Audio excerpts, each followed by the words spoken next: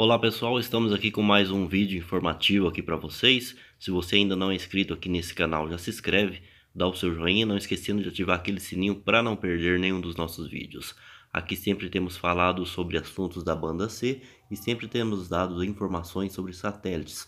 No vídeo de hoje vou dar informações para vocês, as últimas atualizações do Star One C3 da banda C, ok? Vamos começar pelo canal ALTV, o Assembleia TV que está sem sinal no Star One C3.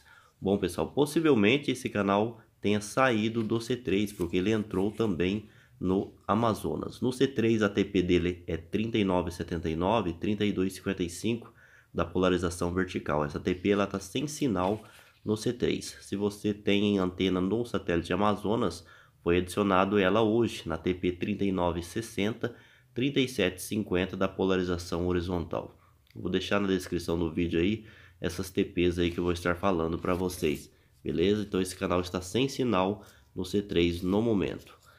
Foi adicionado no Star One C3 também o canal curta, esse canal que era do Star One C1, também da banda C. Muitos canais do C1, como todos sabem, têm migrado para o C3. Já veio a TV Sucesso, Shoptime, é o Polishop Play TV enfim, muitos canais estão vindo do C1 para o C3. Vamos aguardar ver se a Rede Brasil ela vem também para o C3.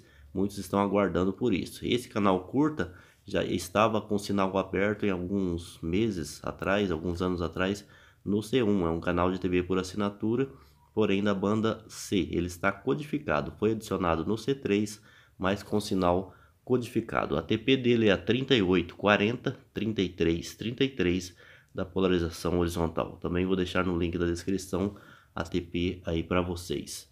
O canal Band Paulista, que é um canal em HD, continua com sinal aberto. Já há algumas semanas a Band Paulista está com sinal aberto em HD. Se você ainda não adicionou ela, a TP dela é a 4086 4170 da polarização horizontal, a Band Paulista. Beleza, pessoal?